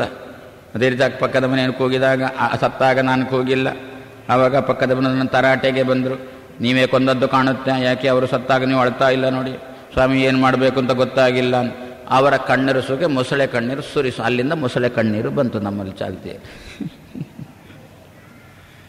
ಅಳಬಾರದು, ಅತ್ತರೆ ಇನ್ನೊಂದು ಮೃತ್ಯು ನಮ್ಮ ಜೊತೆಗೆ ಬರುತ್ತೆ. ನಮ್ಮ ಮೃತ್ಯುವನ್ನು ಕೃಷ್ಣ ನಮ್ಮಿಂದ ಬಿಡಿಸಿದ, ಮತ್ತೊಬ್ಬನನ್ನು ಆಕ್ರಮಿಸುತ್ತೆ. ಹಾಗಾದರೆ ಅರ್ಥ ಆ ವ್ಯಕ್ತಿಯನ್ನು ನಾನು ಮೃತ್ಯುವಿನಿಂದ ಎಳ್ಕೊಂಡು ಹೋಗ್ತೇನೆ ಎಲ್ಲಿಗೆ? ಉತು ಉಚ್ಚ ಸ್ಥಾನಕ್ಕೆ ಆದ್ರಿಂದ ಉದ್ಧರ್ತ. ನಾನೇ ಅವನನ್ನು ಉತು ಎತ್ತರಕ್ಕೆ ಅಪಹರಿಸಿಕೊಂಡು ಹೋಗುತ್ತೇನೆ. ಅವಾಗ ಅರ್ಜುನ ಕೇಳಿದ, ನಮ್ಮಲ್ಲಿ ಒಂದು ಸಿದ್ಧಾಂತದವರದ್ದೊಂದು ಮಾತು ಉಂಟು. ಏನು ಗೊತ್ತಾ? ಮೋಕ್ಷ ಅಂದ್ರೆ ಏನು ಗೊತ್ತಾ? ಮೇಲೆ ಹೋಗ್ತಾನೇ ಇರುದು ಅಲ್ಲ, ಒಂದು ಕಡೆ ನಿಲ್ಲಿಕ್ಕಿಲ್ವ? ಛ ಛ ಛ, ನಿಲ್ಲುವ ಪ್ರಸಂಗನೇ ಇಲ್ಲ. ಮತ್ತೆ ನಮ್ಮ ಜೈನರು? ಹೋಗ್ತಾನೆ ಇರೋದು. ಸಂತತ ಊರ್ಧ್ವ ಗಮನ ಅಂತಂದರು. ನಿರಂತರ ಮೇಲೆ ಹೋಗ್ತಾನೆ ಇರೋದು ಅಲ್ಲ, ಎಲ್ಲಿಯಾದರೂ ಒಂದು ಕಡೆ ನಿಲ್ಲಿಕ್ಕೆ ಅಂತ ಇಲ್ವಾ? ಇಲ್ಲ, ನಿಲ್ಲುವ ಪ್ರಸಂಗನೇ ಇಲ್ಲ ಅಂದರು. ಇದು ಒಂದು. ಇನ್ನೊಂದುಂಟು. ಎತ್ತರಕ್ಕೆ ಹೋಗುವುದು. ಎತ್ತರಕ್ಕೆ ಹೋಗುವುದು ಅಂದರೆ ಸ್ವರ್ಗಕ್ಕೆ ಹೋಗುವುದು ಅಂತ ಒಂದಿರುತ್ತೆ. ಅದು ಎತ್ತರನೇ ಸ್ವರ್ಗ. ನರಕ ಕೆಳಗೆ ಸ್ವರ್ಗ ಎತ್ತರ. ಸ್ವರ್ಗಕ್ಕೆ ಹೋಗೋದು ಅಂತ. ಸ್ವರ್ಗಕ್ಕೆ ಹೋದವರು ಕೆಳಗೆ ಬರಬೇಕು. ಅದೇ ರೀತಿಯಲ್ಲಿ ನನ್ನನ್ನು ಮೃತ್ಯುವಿನಿಂದ ಅಪಹಾರ ಮಾಡಿದ್ದಿ? ನನ್ನನ್ನು ಮೃತ್ಯುವಿನಿಂದ ಬಿಡಿಸಿದ್ದಿ? ಬಿಡಿಸಿ ಎತ್ತರಕ್ಕೆ ಕರ್ಕೊಂಡು ಹೋಗುವುದೆನ್ನುವ ದಾಟಿಯಲ್ಲಿ ಉದ್ಧಾರ ಮಾಡ್ತೇನೆ ಅಂತಂದಿ? ಆ ಉದ್ಧಾರ ಎಲ್ಲಿಯ ಸ್ವರ್ಗ ತನಕ ಉತುಹರವೋ ಅದಕ್ಕಿಂತಲೂ ಎತ್ತರಕ್ಕೆ ಉಂಟು ಅಂತ ಅರ್ಜುನ ಕೇಳಿಬಿಟ್ರೆ, ಸಂ ಉದ್ಧರ್ತ ಅಂತಂದ. ಸಂ ಅಂತಂದ್ರೆ ಅದಕ್ಕಿಂತ ಎತ್ತರದ ಲೋಕ ಇನ್ನೊಂದಿಲ್ಲ. ಅಲ್ಲಿಗೆ ಹೋದರೆ ತಿರುಗಿ ಬರಲಿಕ್ಕಿಲ್ಲ. ಆ ರೀತಿಯಲ್ಲಿ ನಿನ್ನ ಉದ್ಧಾರ ಮಾಡ್ತೇನೆ ಸಮುದ್ಧರ್ತ ಅಂದ. ಎತ್ತರಕ್ಕೆ, ಎತ್ತರದಲ್ಲಿ ನಮ್ಮನ್ನು ಕೂಡಿಸಬೇಕು. ಅದೇ ನಮ್ಮ ಉದ್, ನಮ್ಮನ್ನು ಉದ್ಧಾರ ಮಾಡಿದ್ರು ಅಂತ ಅರ್ಥ. ಮಾತ್ರ ಅವರು ಎಂದೂ ಕೂಡ ನಮ್ಮನ್ನು ಅಲ್ಲಿಂದ ತಪ್ಪಿಸಬಾರದು. ಅದಕ್ಕೇನೆ ಉದ್ಧಾರ ಅಂತ ಕರೆಯುವುದು. ಆ ಧಾಟಿಯಲ್ಲಿ ಕೃಷ್ಣ ಅಂದ, ನಚ ಪುನರಾವರ್ತತೆ ನಚ ಪುನರಾವರ್ತತೆ. ನಾನು ನಿನ್ನ ಕೈ ಹಿಡಿದು ನಿನ್ನನ್ನು ಎತ್ತರಕ್ಕೆ ಎಬ್ಬಿಸಿದೆ ಅಂತಂದರೆ ತಿರುಗಿ ಪುನಃ ಇಲ್ಲಿ ಉಳ್ಕೊಂಡ ಮೃತ್ಯುವನ್ನು ಬಾಚಲಿಕ್ಕೆ ಬರುವಂತಿಲ್ಲ. ಅದೇ ಸಮುದ್ಧರ್ಥ. ಸಂ ಉತ್ ಹರ್ತ ಸಮುದ್ಧರ್ತ. ಒಟ್ಟಿಗೆ ಸಮುದ್ಧಾರ. ನಮ್ಮಲ್ಲಿ ಲೋಕದಲ್ಲಿ ಉದ್ಧಾರ ಅಂತ ಇಷ್ಟೇ ಬಂದಿದೆ ವಿನಃ ಸಮುದ್ಧಾರ ಅಂತ ಬರಲಿಲ್ಲ. ಯಾಕೆ? ಏನೋ ತತ್ಕಾಲಕ್ಕೆ ಅವನ ಬಡತನ ಏನೋ ಇತ್ತು. ಬಡತನ ಪರಿಹಾರಕ್ಕೋಸ್ಕರ ಸ್ವಲ್ಪ ದುಡ್ಡು ಕೊಟ್ಟೆವು ಅಷ್ಟೇ. ಅದು ಬಡ ಕೊಟ್ಟ ದುಡ್ಡನ್ನು ಒಳ್ಳೆ ಉಪಯೋಗಿಸಿದ. ತಿರುಗಿ ಪುನಃ ಬಂದ. ಅದೆಲ್ಲ ಖರ್ಚಾಯಿತು ಕೊಡಿ ಅಂತ. ವರ್ಷಕ್ಕೊಮ್ಮೆನೆ ಕೊಡೋದು ಮತ್ತೆ ಬಾ ಅಂತ ಕಳಿಸಿಕೊಡ್ತೇವೆ ವಿನಃ. ಸಮುದ್ಧಾರ ನಮ್ಮಲ್ಲಿಲ್ಲ ಉದ್ಧಾರ ಮಾತ್ರ. ಅದರಿಂದ ಕೃಷ್ಣ ಅಂದ, ನನ್ನದು ಸಮುದ್ಧಾರ. ಅದರಿಂದ ದೇವರಲ್ಲಿ ಪ್ರಾರ್ಥನೆ ಮಾಡುವಾಗ, ದೇವರೇ, ನನ್ನನ್ನು ಉದ್ಧಾರ ಮಾಡಪ್ಪ, ಕೇಳಬೇಡಿ, ಮತ್ತೆ ಸಮುದ್ಧಾರ ಮಾಡಪ್ಪ. ಉದ್ಧಾರ ಮಾಡಪ್ಪ ಅಂತಂದ್ರೆ ಸ್ವಲ್ಪ ಎತ್ತಿದ, ಕೈ ಬಿಟ್ಟ. ಯಾಕೆ? ನೀನು ಹೇಳಿದ್ದೇನು, ಎತ್ತರಕ್ಕೆ ಕರ್ಕೊಂಡು ಹೋಗ್ಬೇಕು ಅಂತ. ಅಲ್ಲಿ ಕೂತಿದ್ದಿ, ಇಲ್ಲಿ ಕರ್ಕೊಂಡು ಬಿಟ್ಬಿಟ್ಟಷ್ಟೇ. ಎತ್ತರಕ್ಕೆ ಕರ್ಕೊಂಡು ಬಂದತ್ತೆ ಆಯ್ತು ಅಂತ ಇಲ್ಲ, ಸಮುದ್ಧಾರ. ಅದಕ್ಕಿಂತ ಎತ್ತರದ ಜಾಗ ಇನ್ನೊಂದಿರಬಾರದು ಆ ಎತ್ತರ ಜಾಗಕ್ಕೆ ಹೋದರೆ ತಿರುಗಿ ಬರಬಾರದು. ಆ ರೀತಿಯಾದ ಜಾಗಕ್ಕೆ ಅರ್ಜುನ, ನಿನ್ನನ್ನು ಕರೆದುಕೊಂಡು ಹೋಗುತ್ತೇನೆ. ಇದೇ ನಿನ್ನನ್ನು ಮೃತ್ಯುವಿನಿಂದ ಮೊದಲು ನಿನಗೆ ಬಿಡುಗಡೆ ಕೊಡ್ತೇನೆ. ಮೃತ್ಯು ಸಮುದ್ಧಾರ. ತೇಷಾಂ ಅಹಂ ಸಮುದ್ಧರ್ಥ. ಒಂದು ಮೃತ್ಯು, ಇನ್ನೊಂದು ಸಂಸಾರದಿಂದ. ಸಂಸಾರದಿಂದ ಅಂತಂದ್ರೆ ಸಂಸಾರ ಅಂತ ಇದಕ್ಕೆ ಯಾಕೆ ಹೆಸರು? ತುಂಬ ದುಃಖ ಅಂತ. ನಮಗೊಂದೇ ಗೊತ್ತಿರೋದು ತುಂಬ ದುಃಖ ಅಂತ. ಆ ಸಂಸಾರ ಶಬ್ದದ ಅರ್ಥ ಏನು? ಚೆನ್ನಾಗಿ ಯಾವ ಅವಸ್ಥೆ ನಮ್ಮನ್ನು ಸಂ ಚೆನ್ನಾಗಿ ಮೇಲೆ ಕೆಳಗೆ ಮಾಡುತ್ತೋ ಅದಕ್ಕೇನೆ ಸಂಸಾರ ಅಂತ ಹೆಸರಂತೆ. ಮೋಕ್ಷ ಮೇಲಕ್ಕೆ ಮಾತ್ರ ಮಾಡುತ್ತೆ. ನರಕ ಕೆಳಗೆ ಮಾತ್ರ ಮಾಡುತ್ತೆ. ಇದು ಹಾಗಲ್ಲ ಅಂತ ಮನ್ ಚೆನ್ನಾಗಿ ಕುಣಿಸುತ್ತೆ ಅಂತ. ಮೇ ಸರತಿ. ಸಮ್ಯಕ್ ಸರತಿ ಇತಿ ಸಂಸಾರ. ಸರ್, ಅದೇ. ಸಮ್ಯಕ್ ಸರತಿ. ಹುಡುಗನನ್ನು ಭಾರಿ ಕುಣಿಸೋನಿ ಸರ್ ಅಂತ ಪಾಪದವನಾಗಬೇಕು. ಜೋರ್ನವನಾದ್ರೆ ಇವರನ್ನೇ ಕುಣಿಸ್ತಾನೆ. ಅಂತೂ ಒಮ್ಮೆ ಅಧ್ಯಾಪಕ ಅಂತಂದಾಗ ಹುಡುಗರು ಒಮ್ಮೆ ತತ್ತರಿಸ್ತಾರೆ. ಮತ್ತೆ ಅಧ್ಯಾಪಕ ಹೊಸಬ ಅಧ್ಯಾಪಕ ತರಗತಿಗೆ ಬಂದಿದ್ದಾನೆ ಅಂತ ಭಾವಿಸ್ಕೊಳ್ಳಿ. ಅಧ್ಯಾಪ, ವಿದ್ಯಾರ್ಥಿಗಳೆಲ್ಲ ಹೊಸಬ ಬಂದಿದ್ದಾನೆ, ಗ್ರಹಚಾರ ಎಂಥವನೋ ಏನೋ, ಸ್ವಲ್ಪ ತೆಪ್ಪಗೆ ಕೂಡಿ. ಅಂತ ಮುಖಂಡ, ತರಗತಿಯ ಮುಖಂಡ ಎಲ್ಲರಿಗೂ ಹೇಳಿ ತೆಪ್ಪಗೆ ಕೂಡಿಸಿದ. ನಾಲ್ಕು ದಿವಸದಲ್ಲಿ ಅಧ್ಯಾಪಕನ ಜಾತಕ ಎಲ್ಲ ಗೊತ್ತಾಯಿತು. ಮತ್ತೆ ಅಧ್ಯಾಪಕನ ಎದುರಿಗೆ ಗಲಾಟೆ ಶುರುವಾಯಿತು. ಹಾಗಾದರೆ ಸಮ್ಯಕ್ ಸರತಿ ಯಾವುದೋ ಅದನ್ನು ಸಂಸಾರ ಅಂತ ಕರೆದ್ರು. ಎಲ್ಲಿ ಇದ್ದರೆ ನಾವು ಸುಖ ದುಃಖಗಳಲ್ಲಿ ಏರುಪೇರು ಕಾಣುತ್ತೇವೋ, ಚೆನ್ನಾಗಿ ಸರತಿ ಸಂಸ್, ಚೆನ್ನಾಗಿ ಅಡ್ಡಾಡ್ತಾನೆ ಅಂತಂದ್ರು, ಸುಖ ದುಃಖಗಳ ಅನುಭವದಲ್ಲಿ ಏರುಪೇರು ಉಳ್ಳವ ಅಂತಂದ್ರು ಒಂದೇ ಅರ್ಥ. ನಿತ್ಯ ನರಕಕ್ಕೆ ಹೋಗ್ತೀರಾ? ದುಃಖನೇ. ಮೋಕ್ಷಕ್ಕೆ ಹೋಗ್ತೀರಾ? ಸುಖನೇ. ಇಲ್ಲಿ ಹಾಗಲ್ಲ. ಸುಖ ದುಃಖಗಳಲ್ಲಿ ಏರುಪೇರು ಇದೆ. ಆದ್ದರಿಂದ ಏನು ಅಂತ ಕರೆದ್ರು? ಸಂಸಾರ ಅಂತ ಕರೆದ್ರು. ಕೃಷ್ಣ ಅಂದ ಅಂತಹ ಸಂಸಾರವನ್ನು ಇಲ್ಲೇ ಬಿಟ್ಟು ಸಮುದ್ಧರ್ಥ. ನಿನ್ನನ್ನು ಕರ್ಕೊಂಡು ಹೋಗುತ್ತೇನೆ. ಎಲ್ಲಿಗೆ ಅಂದ? ಯಾವ ಜಾಗಕ್ಕೆ ಹೋದರೆ ಸುಖದಲ್ಲಿಯೂ ಕೂಡ ಏರು ಪೇರು ಅಂತ ಇಲ್ಲವೋ? ಒಂದೇ ರೀತಿಯಾದ ಸ್ವರೂಪಭೂತವಾದ ಸುಖವನ್ನೇ ಅನುಭವಿಸಿಕೊಂಡು ಇರುತ್ತೀಯೋ? ಆ ಜಾಗಕ್ಕೆ ನಿನ್ನನ್ನು ಕರ್ಕೊಂಡು ಹೋಗ್ತೇನೆ. ಆ ಜಾಗಕ್ಕೆ ಅಲ್ಲ, ಮತ್ತೆ ಏರುಪೇರು ಇಲ್ಲೇ ಬಿಟ್ಟು ಬಾ. ಬಾಕಿಯವರಿಗೆ ಅದನ್ನು ಬಿಟ್ಟು ಬಾ. ಹಾಗಾದ್ರೆ ಸಂಸಾರ ಅಂತಂದರೆ ಏರುಪೇರಿನಿಂದ ಕೂಡಿದ ಸುಖ ದುಃಖಗಳ ಅನುಭವ. ಮೇಲೆ ಕೆಳಗೆ ಹೋಗತಕ್ಕಂತಹ ಸುಖ ಬಂದಾಗ ಉಬ್ಬುವುದು, ದುಃಖ ಬಂದಾಗ ಕುಗ್ಗುವುದು, ಆದ್ದರಿಂದಲೇ ಸರಣ. ಯಾವುದು? ದೈಹಿಕವಾಗಿ ಸರಣ ಇಲ್ಲದಿದ್ದರೂ ಮಾನಸಿಕವಾಗಿ ಸರಣ, ಮಾನಸಿಕವಾಗಿ ಚಾಂಚಲ್ಯ. ಅದು ಮಾಡಬೇಕು? ಇದು ಮಾಡಬೇಕು. ಅದರಿಂದ ಸುಖ ಸಿಗುತ್ತೋ? ಇದರಿಂದ ಸುಖ ಸಿಗುತ್ತೋ? ಅಲ್ಲಿ ದುಃಖ ಉಂಟೋ ಏನೋ ಅಂತ ಇಲ್ಲಿಗೆ ಬಂದ. ಇಲ್ಲಿ ದುಃಖ ಉಂಟೋ ಏನೋ ಅಂತ ಅಲ್ಲಿಗೆ ಹೋದ. ಹೀಗೆ ಸರಣ, ಮಾನಸಿಕವಾದ ಸರಣ, ಮಾನಸಿಕವಾಗಿ ಸ್ಥಿರತೆ ಇಲ್ಲದಿರುವಿಕೆಯೇ ಸಂಸಾರ. ಆ ಮಾನಸಿಕ ಅಚ ಚಾಂಚಲ್ಯದಿಂದ ನಿನ್ನನ್ನು ಸಮುದ್ಧರ್ಥ. ಮನಸ್ಸಿಗೆ ಸ್ಥಿರತೆಯನ್ನು ಕೊಡ್ತೇನೆ ನಾನು ಸಮುದ್ಧರ್ತ ಮೃತ್ಯುವಿನಿಂದ ಸಮುದ್ಧರ್ಥ, ಸಂಸಾರದಿಂದ ಸಮುದ್ಧರ್ಥ, ಕೊನೆಗೆ ಸಾಗರದಿಂದ ಸಮುದ್ಧರ್ಥ. ಸಾಗರ ಅಂದರೆ ಸುತ್ತಮುತ್ತ ಇರತಕ್ಕಂಥ ಬಂಧು, ಬಳಗ, ಇವುಗಳೆಲ್ಲ ಸಾಗರಗಳು. ಸಾಗರಗಳು ಅಂತಂದ್ರೆ ಗರದಿಂದ ಕೂಡಿದವರು. ಗರದಿಂದ ಕೂಡಿದವರು ಅಂತಂದ್ರೆ ವಿಷದಿಂದ ಕೂಡಿದವರು. ವಿದುರ ಒಂದು ಮಾತು ಹೇಳಿದ್ದ. ಏನು? ಅಂದರೆ ನಾಯಿಗೆ ನಾಯಿಯಿಂದ ಭಯ ಅಂತೆ. ಬಂಧುಗಳಿಗೆ ಬಂಧುಗಳಿಂದ ಭಯ ಅಂತೆ. ಸಂಭಾವ್ಯಂ ಜ್ಞಾತಿತಃ ಭಯಂ. ನಮಗೆ ಭಯ ಕೊಡುವವರು ಬೇರೆ ಮೂರನೇ ವರ್ಗದವರೆಲ್ಲ, ನಮ್ಮ ಬಂಧುಗಳೇ ನಮಗೆ ಭಯ ಕೊಡ್ತಾರೆ ಅಂತ ಒಂದು ಮಾತಂದ. ಹಾಗಾದ್ರೆ ಅವರು ಯಾರು? ಅವರು ಗರದಿಂದ ಕೂಡಿದವರು. ನಮ್ಮ ಅಭಿವೃದ್ಧಿಯನ್ನು ಏಳಿಗೆಯನ್ನು ಸಹಿಸಲಿಕ್ಕೆ ಸಾಧ್ಯ ಆಗದಿರುವವರು, ಅದೇ ವಿಷದಿಂದ ಕೂಡಿದವರು. ಅಂಥವರಿಂದ ನಿನ್ನನ್ನು ಉದ್ಧಾರ ಮಾಡ್ತೇನೆ. ನಿನ್ನ ಮಾನಸಿಕ ಚಾಂಚಲ್ಯದಿಂದ ನಿನ್ನನ್ನು ಉದ್ಧಾರ ಮಾಡ್ತೇನೆ. ನಿನ್ನ ಜೊತೆಗೆ ಸದಾಕಾಲ ನಿನ್ನ ಬೆಂಬತ್ತಿಕೊಂಡು ಬರತಕ್ಕಂತಹ ಮೃತ್ಯುವಿನಿಂದ ನಿನ್ನನ್ನು ಉದ್ಧಾರ ಮಾಡಿ, ಪುನಃ ತಾಯಿಯ ಗರ್ಭದಲ್ಲಿ ಪ್ರವೇಶ, ಮರಣ ಇತ್ಯಾದಿಗಳು ಬಾರದಂತೆ ಮಾಡ್ತೇನೆ. ಮೃತ್ಯುವಿನಿಂದ ಉದ್ಧಾರ, ಮಾನಸಿಕ ಚಾಂಚಲ್ಯದಿಂದ ಉದ್ಧಾರ, ಅಕ್ಕಪಕ್ಕದವರ ಉಪಟಳದಿಂದ ಉದ್ಧಾರ. ಸಗರ, ಸಾಗರ, ಸಗರ ಸಂಬಂಧಿ ಸಾಗರ. ಏನು, ಎಷ್ಟು ಬಂಧುಗಳಿದ್ದಾರೆ ಗೊತ್ತಾ? ಏರುವ ದಂಡಿಗೆ ನೂರಾರು ಮಂದಿಯು. ಏನು ನಮಗೊಂದು ಪಾಲಕಿಯಲ್ಲಿ ಏರುವ ಭಾಗ್ಯ ಬಂತು ಅಂತಾದರೆ ಸಾಕು, ಸಂಪತ್ತು ಬಂದು. ಎಲ್ಲಿದ್ರೋ ಏನೋ, ಅಷ್ಟು ತನಕ ಬಂದಿಲ್ಲ. ಬಂದರು ನಮ್ಮ ಮನೆಗೆ ನಾನು ಯಾರು ಗೊತ್ತಾಯ್ತಾ? ಯಾರು? ನಿಮಗೆ ದೂರದಿಂದ ಹತ್ತಿರ ಅಂದ. ಇಂಥವ್ರು ಇಂಥವ್ರು ಎಷ್ಟು ಜನ ಬರ್ತಾರೆ ಗೊತ್ತಾ? ತುಂಬ ಜನ ತುಂಬ ಜನ ಬರ್ತಾರೆ. ದೂರದಿಂದ ಹತ್ತಿರ ಅಂತ. ನೋಡೋಣ, ಏರುವ ದಂಡಿ ದೊಪ್ಪನೆ ಬಿತ್ತು. ಒಂಟೆಯಂತೆ ಕತ್ತನ್ನು ಮೇಲಕ್ಕೆ ಎತ್ತುವರು. ಬಿದ್ದೆವು ದೊಪ್ಪನೆ ಪಾಲಕಿಯಿಂದ. ಆಮೇಲೆ ಯಾರು ದೂರದಿಂದ ಹತ್ತಿರ ಅಂತ ಮೊದಲು ಹೇಳಿದ್ರಲ್ಲ, ಅವರ ಬಳಿ ಹೋಗಿ ಹೀಗೆ ದಿವಾಳಿ ಎದ್ದಿದ್ದೇನೆ, ಸ್ವಲ್ಪ ಸಹಾಯ ಮಾಡಿ ಅಂದರೆ ನೀವು ಯಾರು ಅಂತ.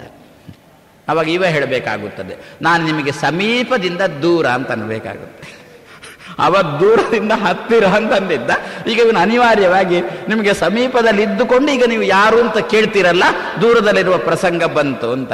ಹಾಗಾದ್ರೆ ಇದೆಲ್ಲ ಎಂಥದ್ದು ಅಂತಂದು ಬಿಟ್ರೆ ಸಗರ, ಸಾಗರ. ಪ್ರಾಯಶಃ ಒಂದೊಂದೇ ಹೇಳ್ತಾ ಹೋದರೆ ಪ್ರತಿಯೊಬ್ಬರೂ ಕೂಡ ತಮ್ಮ ಜೀವನದಲ್ಲಿ ಹೌದು ಹೌದು ಹೌದು ಅಂತ ಮನಸ್ಸಿನೊಳಗೆ ಹೇಳಿಕೊಳ್ತಾರೆ. ಬಾಯಲ್ಲಿ ಹೇಳಲಿಕ್ಕೆ ಸ್ವಲ್ಪ ನಾಚಿಕೆ ಅಷ್ಟೇ. ಅರವತ್ತನೇ ಶಾಂತಿಗೆ ತಯಾರಾಗಿದೆ. ಎಲ್ಲ ಸಿದ್ಧತೆ ಮಾಡಿದ್ದೇವೆ. ಇವತ್ತೋ, ನಾಳೆಯೋ, ನಾಡ್ದೋ ಏನೋ ಕಾರ್ಯಕ್ರಮ? ಏನಕ್ಕೇನಾಪಿ ಪ್ರಕಾರೇಣ ನಿಲ್ಲಿಸಬೇಕು ಅಂತ ನಮ್ಮ ಬಂಧುಗಳಿಗೊಂದು ಛಲ ಬಂದಿದೆ. ಅದಕ್ಕೆ ಸರಿಯಾಗಿ ದುರದೃಷ್ಟವಶಾತ್ ನಮ್ಮ ಪೈಕಿಯವರೇ ಎಲ್ಲೋ ಪರಸ್ಥಳದಲ್ಲಿ ತೀರಿದ್ದಾರೆ. ಆ ಸುದ್ದಿ ನಮ್ಮ ಬಂಧುಗಳಿಗೆ ಗೊತ್ತಾಯಿತು. ಎಂದೂ ಪತ್ರ ಬರೆಯದ ಬಂಧುಗಳು ಆ ದಿವಸ ಒಂದು ಪತ್ರ ಬರೆದು, ಅದು ಕೂಡ ಟಪಾಲಲ್ಲಿ ಹಾಕದೆ ಒಬ್ಬ ವ್ಯಕ್ತಿಯ ಕೈಯಲ್ಲೇ ಕೊಟ್ಟು ಕಳಿಸಿ. ಏನಂತ? ನಿಮ್ಮ ಪೈಕಿಯವರು ತೀರಿದ್ದಾರೆ ಆದ್ದರಿಂದ ನಿಮ್ಮ ಕಾರ್ಯಕ್ರಮ ನಿಂತೋಯಿತು. ಇವ ಅಂದ ತೀರಿದ್ದಾರೆ ಅಂತ ಹೇಳಿದ್ರೆ ಸಾಕು, ನಿಂತೋಯಿತು, ನನಗೆ ಗೊತ್ತು ಅಂದ ಇವರೆಲ್ಲ ಯಾರು? ಇವರೆಲ್ಲ ಸಗರ ಬಂಧುಗಳು. ಗರದಿಂದ ಕೂಡಿದ ಬಂಧುಗಳು. ವಿಷದಿಂದ ಕೂಡಿದ ಬಂಧುಗಳು. ಇಂತಹ ಬಂಧುಗಳ ಜಂಜಾಟದಲ್ಲಿ ಸಿಕ್ಕಿರತಕ್ಕಂತಹ ನಿನ್ನನ್ನು ಸಮುದ್ಧರ್ಥ. ಯಾವಾಗ? ಮಾಂ ಧ್ಯಾಯಂತ ಉಪಾಸತೆ. ಲಕ್ಷ್ಮಿಯನ್ನು ನನ್ನೊಟ್ಟಿಗೆ ಸೇರಿಸಿ ಮುಖ್ಯ ಪ್ರಾಣನನ್ನು ಜೊತೆಗೆ ಸೇರಿಸಿ ಏ ಉಪಾಸತೆ, ಅಂಥವರಿಗೆ ನಾನು ಸಮುದ್ಧರ್ಥ, ಅವರ ಉದ್ಧಾರ ನಾನು ಮಾಡ್ತೇನೆ ಅಂತ ಕೃಷ್ಣ. ತೇಷಾಂ ಅಹಂ ಸಮುದ್ಧರ್ಥ, ಮೃತ್ಯು ಸಂಸಾರ ಸಾಗರ ಇದನ್ನು ಕೆಲವರು ಒಟ್ಟಿಗೆ ಹೇಳೋದಂತೂ ಉಂಟು. ಒಂದೇ ಹೇಳೋದೊಂದುಂಟು. ಮೃತ್ಯುವೆಂಬ ಸಂಸಾರವೆಂಬ ಸಾಗರದಿಂದ ಅಂತ ಹೇಳೋದುಂಟು. ಅದಕ್ಕಿಂತ ಹೀಗೆ ನೋಡಿದ್ರೆ ನಮಗೆ ತುಂಬ ಅರ್ಥ ಸಿಗುತ್ತೆ. ಯಾಕೆ? ಸಂ ಉತ್ ಹರ್ತ ಅಂತ ಅಲ್ಲಿ ಮೂರು ಹೇಳಿದ್ದಾನೆ. ಅದರಿಂದ ಮೃತ್ಯು, ಸಂಸಾರ, ಸಾಗರ ಅಂತ ಇಟ್ಟುಕೊಳ್ಳೋದು ಒಳ್ಳೆಯದು ಸಾಲದ್ದಕ್ಕೆ ಕೃಷ್ಣ ನಿನ್ನೆ ದಿವಸ ಒಂದು ಮಾತಂದಿದ್ದಾನೆ. ಪರಿ ಸಂತರ ಅಂತ ಮತ್ತೊಂದು ಮಾತಂದಿದ್ದ. ಪರ್ಯುಪಾಸತೆ ಅಂತ ಒಂದಂದಿದ್ದ. ಅಧಿಕ ತರಹ ಕ್ಲೇಶ ಅಂತ ಮತ್ತೊಂದಂದಿದ್ದ. ಸಂನಿಯಮ್ಯ ಅಂತ ಮತ್ತೊಂದಂದಿದ್ದ. ಹಾಗಾದ್ರೆ ಇದೆಲ್ಲ ಏನು ಒಂದು ರೀತಿಯಲ್ಲಿ ದುಃಖಕ್ಕೆ ಪೀಠಿಕೆ ಅಂತ ಇರತಕ್ಕಂಥವುಗಳು ಅದರಿಂದ ಕೃಷ್ಣ ಅಂದ, ಮೂರು ರೀತಿಯ ದುಃಖದಿಂದ ನಿನ್ನನ್ನು ಬಿಡುಗಡೆ ಮಾಡ್ತೇನೆ ಸಮಾಜದಲ್ಲಿ ಜನಗಳಿಗೆ ಇರುವುದೇ ಮೂರು ರೀತಿಯ ದುಃಖ. ನಿನ್ನೆಂದಲ್ಲ, ಅದನ್ನು ಉಪಸಂಹಾರ ಮಾಡ್ತೇನೆ. ತಾಪತ್ರಯ. ಆ ತಾಪಗಳ ತ್ರಯದಿಂದ ನಿನ್ನನ್ನು ಉದ್ಧಾರ ಮಾಡ್ತೇನೆ. ತೇಷಾಂ ಅಹಂ ಸಂ ಉತ್ ಹರ್ತ. ಮೃತ್ಯು ಸಂಸಾರ ಸಾಗರಾತ್. ಯಾವಾಗ ಅಂದ ಅರ್ಜುನ? ನಚಿರಾತ್, ತಡ ಇಲ್ಲ. ತಡ ಇಲ್ಲ ಅಂದರೆ ಮತ್ತೆ ಯಾವಾಗ ಅಂದ ನಿನ್ನ ಕೈಯಲ್ಲೇ ಇರೋದು ಅಂತ ಅಷ್ಟೇ. ನನ್ನ ಕೈಯಲ್ಲಿ ಅಲ್ಲ ನಿನ್ನ ಕೈಯಲ್ಲೇ ಇರೋದು ಅಂತ. ಏನು ನನ್ನ ಕೈಯಲ್ಲಿ ಅಂತಂದ? ಲಕ್ಷ್ಮಿಯನ್ನು ನನ್ನ ಜೊತೆಗೆ ಸೇರಿಸಿ ಉಪಾಸನೆ ಮಾಡು. ಇದೇ ನಿನ್ನ ಕೈಯಲ್ಲಿರುವುದು ಮುಖ್ಯ ಪ್ರಾಣನನ್ನು ಒಟ್ಟಿಗೆ ಸೇರಿಸು. ಇದೇ ನಿನ್ನ ಕೈಯಲ್ಲಿರುವುದು. ಆ ರೀತಿಯಲ್ಲಿ ಚೆನ್ನಾಗಿ ಉಪಾಸನೆ ಮಾಡು. ಬಂದೆ ನಾನು ಅಲ್ಲಿಗೆ, ಭವಾಮಿ ನ ಚಿರಾತು ತಡ ಇಲ್ಲ ಪಾರ್ಥ. ಮೈ ಆವೇಶಿತ ಚೇತಸ ಅಂತ ಕೃಷ್ಣ ಅಲ್ಲೇ ಮತ್ತೊಮ್ಮೆ ಉಪಸಂಹಾರ ಮಾಡಿದ. ಹಾಗಾದರೆ ಭಗವಂತನ, ಲಕ್ಷ್ಮೀ ಸಹಿತವಾಗಿ ಭಗವಂತನ ಉಪಾಸನೆ ಮಾಡಿದರೆ ಅಥವಾ ನೀವು ಲಕ್ಷ್ಮಿಯನ್ನು ಪ್ರತ್ಯೇಕ ಉಪಾಸನೆ ಮಾಡುವಾಗ ಹಾಕಿದ ಶ್ರಮವನ್ನು ಭಗವಂತನಲ್ಲಿ ಹಾಕಿದರೆ ಅಥವಾ ಅದಕ್ಕಿಂತ ಕಮ್ಮಿ ಶ್ರಮವನ್ನು ಹಾಕಿದರೆ ತೇಷಾಂ ಅಹಂ ಸಮುದ್ಧರ್ಥ ಅವರನ್ನು ನಾನು ಉದ್ಧಾರ ಮಾಡ್ತೇನೆ ಇದಕ್ಕೆ ಉದಾಹರಣೆಗಳು ಲೋಕದಲ್ಲಿ, ಪುರಾಣಗಳಲ್ಲಿ ಉದಾಹರಣೆಗಳು ಬಹಳ. ಪಾಂಡವರಲ್ಲಿ ಭೀಮನನ್ನು ಬಿಟ್ಟು ಎಲ್ಲರೂ ಇದಕ್ಕೆ ಉದಾಹರಣೆ. ಧರ್ಮರಾಜ ಏನು ಮಾಡಿದ? ಅಭಿವೇತ್ ಜರಾಸಂಧವದೆ ಕೃಷ್ಣಂ ಉದೀರಿತು. ಜರಾಸಂಧನನ್ನು ಕೊಲ್ಲುವ ಪ್ರಸಂಗ ಬಂದಾಗ ಧರ್ಮರಾಜ ಅಂದ, ಕೃಷ್ಣ, ಹೋಗಬೇಡ ಜರಾಸಂಧನನ್ನು ಕೊಲ್ಲಿಕ್ಕೆ. ಯಾಕೆ ಅಂದ ಕೃಷ್ಣ, ನೀನು ಹೋದ್ರೆ ಏನು ಅಂದ, ನನಗೆ ಮತ್ತೆ ಉಳಿಗಾಲ ಇಲ್ಲ. ಯಾಕೆ ಅಂದ, ನಿನ್ನನ್ನು ಜರಾಸಂಧ ಮುಗಿಸ್ತಾನೆ ಧರ್ಮರಾಜ ಕೃಷ್ಣನಿಗೆ ಅಪಮಾನ ಮಾಡಿದ.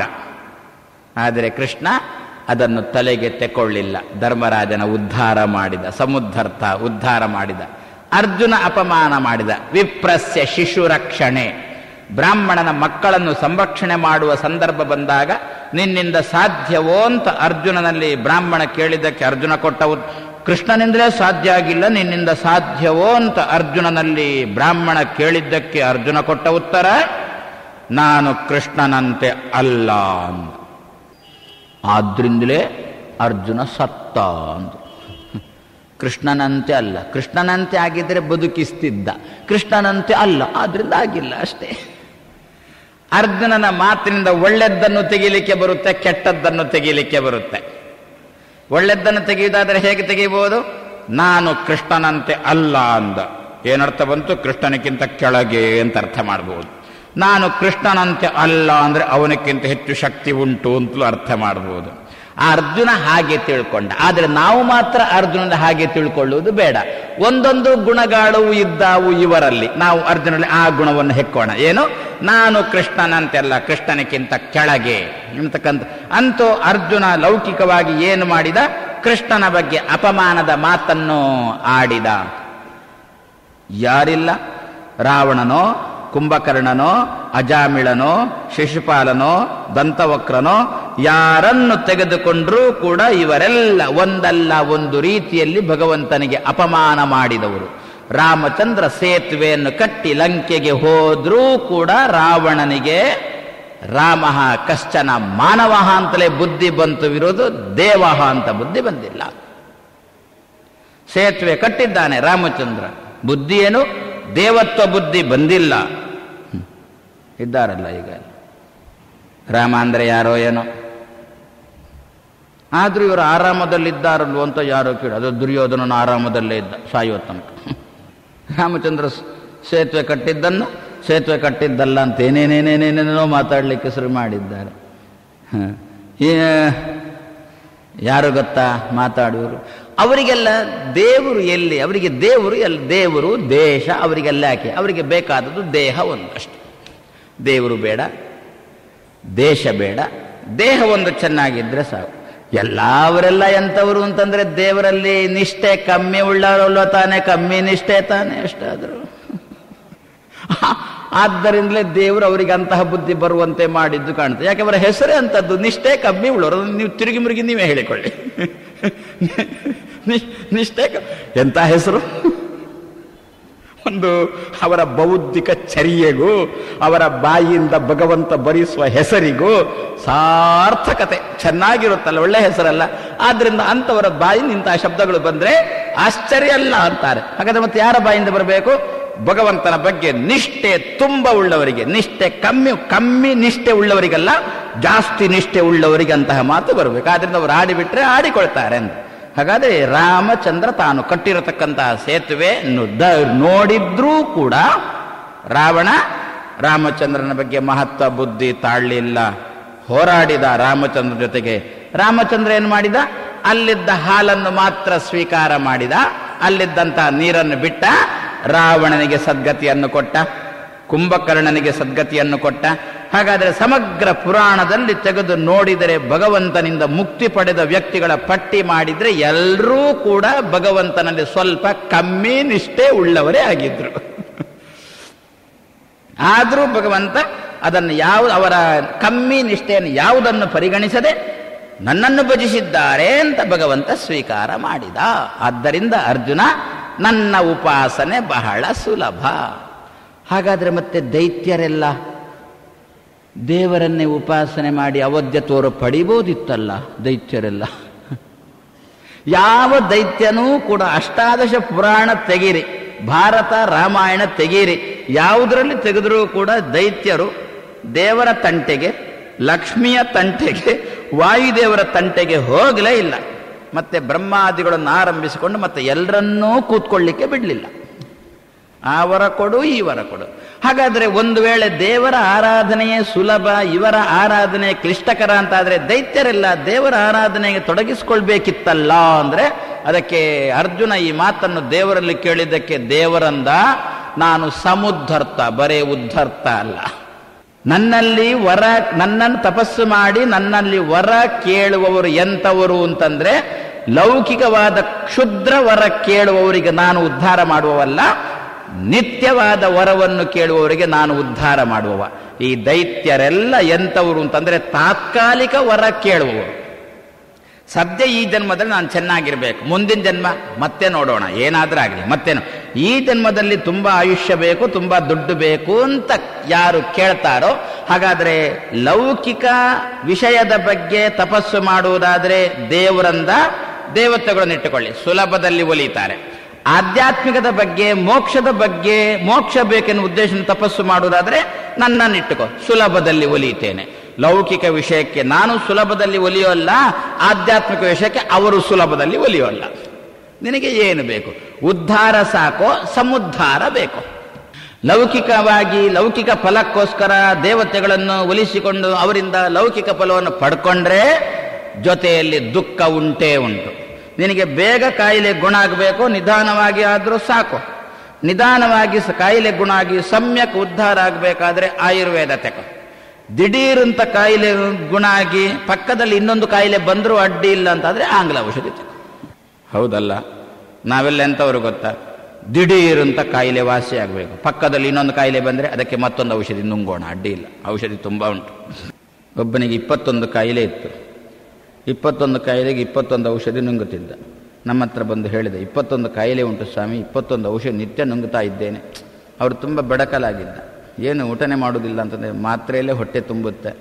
ಆದ್ದರಿಂದ ಊಟ ಮಾಡ್ತಾ ಇಲ್ಲ. ಇಪ್ಪತ್ತೊಂದು ಕಾಯಿಲೆ ಉಂಟು. ನಾನಂದೆ, ಇಪ್ಪತ್ತೊಂದು ಕಾಯಿಲೆ, ಇಪ್ಪತ್ತೊಂದು ಔಷಧಿ ಮಾತ್ರೆ ನುಂಗಿದ್ದಕ್ಕೆ ನಿನಗೆ ಕಾಯಿಲೆ ಬರೋ ಇಪ್ಪತ್ತೊಂದು ಕಾಯಿಲೆ ಪರಿಹಾರ ಆಗುವ ಸಲುವಾಗಿ ಇಪ್ಪತ್ತೊಂದು ಕಾಯಿಲೆ ಪರಿಹಾರ ಆಗುವ ಸಲುವಾಗಿ ಇಪ್ಪತ್ತೊಂದು ರೀತಿಯ ಮಾತ್ರೆ ನುಂಗಿದ್ದರಿಂದ ನಿನಗೆ ಇನ್ನೊಂದು ಕಾಯಿಲೆ ಬರುವುದಿಲ್ವ ಅಂತಂದ್ರೆ ಅದು ಬರಬಾರ್ದು ಅಂತ ಮತ್ತೊಂದು ನುಂಗುತ್ತೇನೆ ಅಂತಂದು.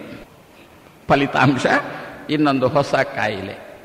ಲೋಕದಲ್ಲಿ ಉಂಟಲ್ಲ, ನಾವೆಲ್ಲ ಅಂಥ ವಂಶಕ್ಕೆ ಸೇರಿದವರಲ್ಲೂ ಇನ್ನೊಂದು ಕಾಯಿಲೆ ಬಂದರೂ ಅಡ್ಡಿ ಇಲ್ಲ, ದುಃಖ ಬಂದರೂ ಅಡ್ಡಿ ಇಲ್ಲ, ನಮಗೆ ರುದ್ರಾದಿಗಳೇ ವರ ಕೊಡಬೇಕು. ಆ ದೈತ್ಯರೆಲ್ಲ ಅಂತಹ ಸಾಲಿನವರು. ಆದ್ದರಿಂದ ಏನಾಗಿದೆ? ನಮ್ಮಲ್ಲಿ ಆಯುರ್ವೇದ ಪರದೇಶಕ್ಕೆ ಹೋಗಿದೆ. ಅಲ್ಲಿದ್ದ ಆಂಗ್ಲ ನಮ್ಮಲ್ಲಿ ಓಡಿ ಬಂದಿದೆ. ತೇಷಾಂ ಅಹಂ ಸಮುದ್ಧರ್ತ ಮೃತ್ಯು ಸಂಸಾರ ಸಾಗರ ಆದ್ದರಿಂದ ರುದ್ರಾದಿ ದೇವತೆಗಳು, ಇತರ ದೇವತೆಗಳನ್ನು ಆರಾಧನೆ ಮಾಡಿ ಅವರನ್ನು ಒಲಿಸಿಕೊಂಡು ಫಲ ಬೇಗ ಪಡೆದಿದ್ದಾರಲ್ವೋ ಅಂತ ಯಾರಾದರೂ ಪ್ರಶ್ನೆ ಮಾಡಿದರೆ ಅದಕ್ಕೆ ಉತ್ತರ, ಅದು ದುಃಖ ಮಿಶ್ರಿತ ಫಲ, ಅದು ಲೌಕಿಕ ಫಲ. ದುಃಖ ಇಲ್ಲದ ನಿರಂತರವಾದ, ಶಾಶ್ವತವಾದ ಫಲ ಬೇಕಾದರೆ ಕೃಷ್ಣ ಅಂದ, ನನ್ನ ಭಜನೆ ಮಾಡು, ಶೀಘ್ರದಲ್ಲಿ ಒಲಿದು ಫಲ ಕೊಡ್ತೇನೆ ಅಂತ ಕೃಷ್ಣ ಹೇಳ್ತಾ ಇದ್ದಾನೆ ಎಂಬಲ್ಲಿಗೆ ಇಂದಿನ ಮಾತನ್ನು ಮುಗಿಸ್ತಾ, ನಾಳೆ ಸಾಯಂಕಾಲ ಆರು